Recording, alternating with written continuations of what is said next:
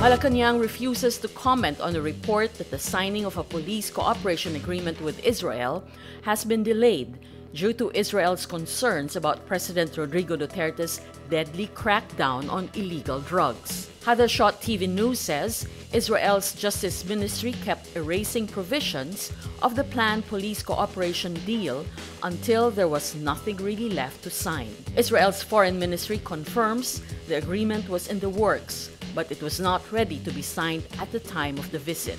Duterte has railed frequently about the United States and Canada canceling planned purchases for guns and aircraft due to concerns over human rights violations.